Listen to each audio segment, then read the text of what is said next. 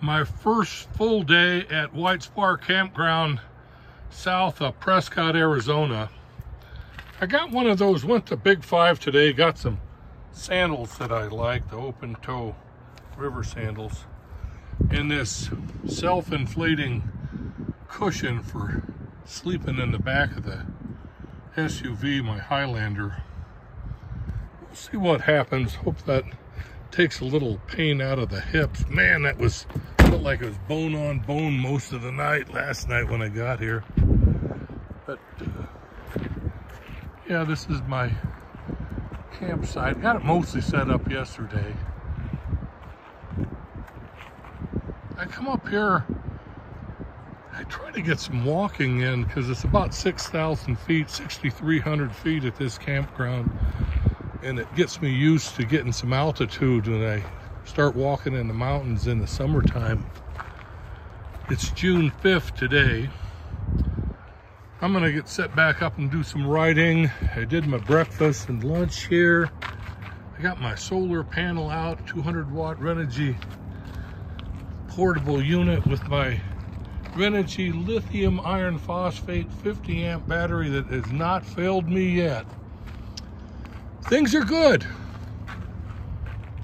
My campsite and the general layout of White Spar is quite lovely on this end of the campground. They chopped all the trees down on the other end, makes it look like a plucked chicken over there, but I do like this campground. Been testing out the new sandals, the river sandals. I had to lot back off on the straps, the toe straps, and then that heel strap. Otherwise, they run a chance of getting a blister starting. Tomorrow, I'll give them a good trail walk and see how they work out. Funny how just a new pair of shoes brightens up my day. Working on the first pair of a six pack. Solar panels working away. 24 hours into the camping here at White Spar uh, right near Prescott, Arizona. My Writer's Cave.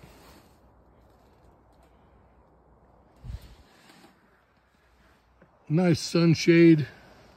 This is particularly well suited, this campsite, for east-west uh, morning and afternoon sun exposure. Up there, there's a bunch of trails, people walking around on uh, the mountainside. This is quite a well-used campground. I went on a little hike earlier, checking out my new shoes. I came down out of the hillside up here. I didn't want to carry my camera up through there because I have a tendency to slide out every now and then. Although these shoes held up well, I don't want to be replacing cameras and stuff. I'm probably one of those guys that needs to wear a, what is it, GoPro on my hat everywhere. That's one access to the trail. But there's people running along you can see up ahead, people and their dogs go running up and along the hillside there. But that's the access to the trail that goes around the campground. There's one that you can access it. You take this trail up that way and it takes you to the top of the hill and over to, uh, forget what the name of the lake is. Anyway, there's a whole bunch of trails and mountain bike trail access, horse riding. This area is quite uh, well frequented by runners and, well, any number of campers, but I love it here. It's an enjoyable time. Hello there. So it's June 6th. I started another Kindle Vella series this one is welding and motorcycles. It's a nonfiction series on the Kindle Vella platform, along with my other fictional tales. And I have uh, four episodes up at the moment. Although I posted episode five this morning, it should be up in a couple of hours. I'm enjoying the Kindle Vella platform. It uh, in this particular uh, series, it's kind of cathartic to write a memoir of how I got into welding via motorcycles back in the 1970s. It's a fun series for me to write.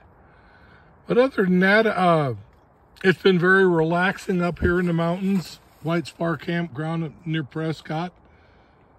I get to ride every day. I get to post and promote on uh, on my Kindle Vella uh, sites or uh, uh, one of the pages that I follow on Facebook. But uh, for those of you who are into Kindle Vella, I think you'll find it uh, worth your while to maintain a constant series and uh, episode episode upload. Uh, it does come through in terms of the bonuses you get, and you do get rewards. I've had this up two days, and I have I have 21 thumbs up for my series. Been fun. Thank you.